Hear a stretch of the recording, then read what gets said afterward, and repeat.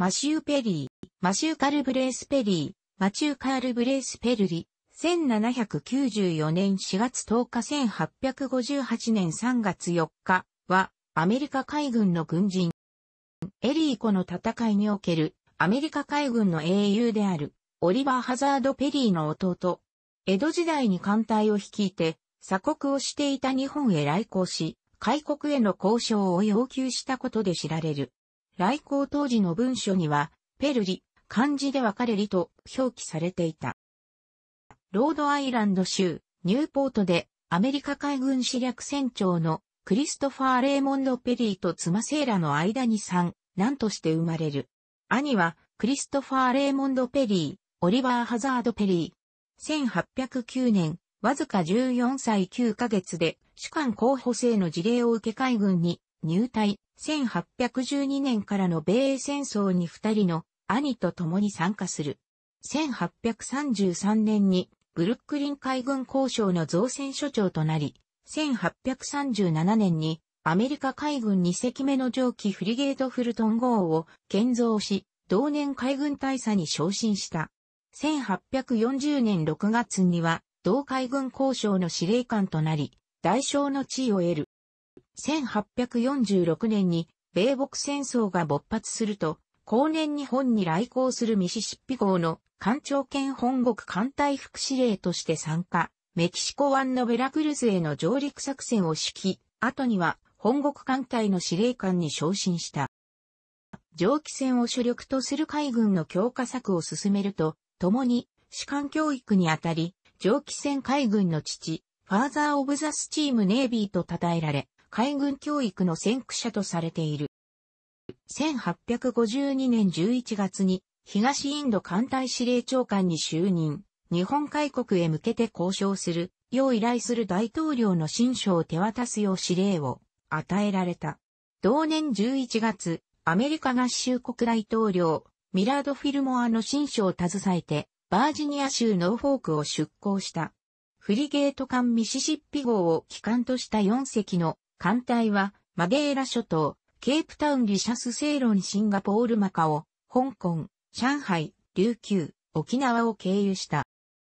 1853年7月8日、嘉永6年6月3日、浦賀に入港した。7月14日、6月9日、幕府側が指定した栗浜に護衛を引き連れ上陸、戸田市栄と井戸行動に大統領の親書を手渡した。ここでは具体的な協議は取り行われず開国の要求を、下のみで湾を何日か測量した後、幕府から翌年までの猶予を求められ、食料など、艦隊の事情を回り、琉球へ寄港した。太平天国の乱が起こり、アメリカでの極東事情が変化する中、1854年2月13日、嘉永7年1月16日に、機関サスケ花号など7隻の軍艦を率いて、現在の横浜市の沖に迫り、早期の条約締結を求め、3月31日、3月3日に神奈川で日米和親条約を調印した。またその後、那覇に寄港して、7月11日、琉球王国とも琉米修好条約を締結した。その後、艦隊は香港に向かった。日本開国の退任を果たした後、体調不良に悩まされていたペリーは香港で本国政府に帰国を申請し、許可を得た。艦隊の指揮権を譲って、ミシシッピ号を去り9月11日に、イギリス船に便乗し、西回りの航路と陸路で、ニューヨークへの帰国の途に着いた。インド洋、航海、地中海を経て、ヨーロッパ大陸を鉄道で移動し、ウィーン、ベルリン、ハーグラで多少の滞在保養を得て、イギリスへ渡り、リバプールから大西洋を航海、翌年1月12日にニューヨークに帰着した。東回りの航海で1月22日にニューヨークへ帰着したミシシッピ号上で1月24日にペリーの東インド艦隊司令長官の退任式、挙行された。日本遠征記などの出版に注力をした。また、アルコール使用障害、痛風、リウマチを患っていた。1858年3月4日ニューヨークで死去、63歳だった。墓所はロードアイランド州アイランド墓地にあり、娘アンナと共に収められている。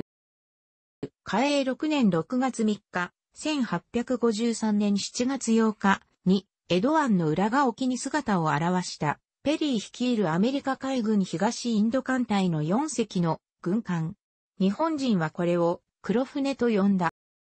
一般には東インド艦隊と呼ばれるが、フリートではなくスコードロンであるため、現代の軍事用語では、小艦隊、または船体に該当する。ただし、当時のアメリカ海軍にはフリートは存在せず、軍艦の集団としては、スコードロンが最大の単位であった。太平の眠りを覚ます蒸気船立つた4杯で夜も、眠れずと強化に読まれたが、来航した黒船4隻のうち蒸気船は2隻のみであった。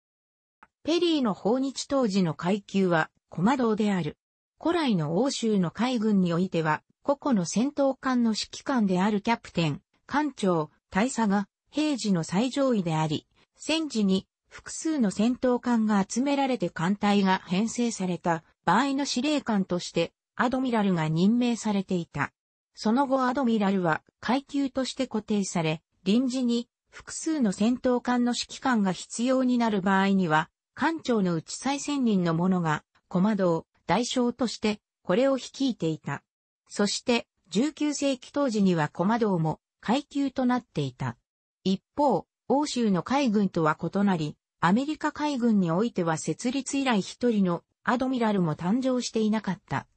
制度としては存在していたものの、アドミラルに昇進するには、議会の承認が必要であり、現実に最初のアドミラルが認められたのは、南北戦争中の1862年であった。この時点ではペリーはすでに死亡している。したがって、ペリーの肩書きもコマ道、大将であり、アドミラルではなかった。アメリカ海軍においても大将は一時的な肩書きに過ぎず、ペリーは東インド艦隊の指揮を取るために大将に任命されたもので、任務が完了した後は、正規の階級である大佐に戻っている。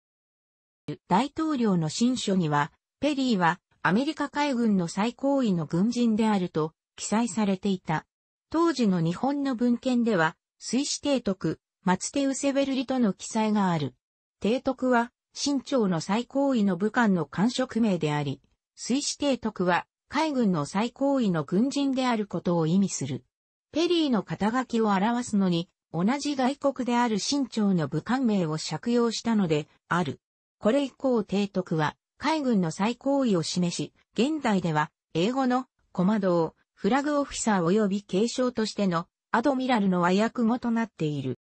兄のオリバーの名前は、オリバー・アハザード・ペリー級、ミサイルフリゲートのネームシップとなるなど、これまで6隻に使われたが、最近までアメリカ海軍にはマシュー・ペリーの名前を持つ艦図った。しかし、2010年に収益したルイスクラーク級貨物弾薬補給艦の9番艦がマシューペリーと命名された。同艦は2011年の東北地方太平洋沖地震の救援活動に参加した。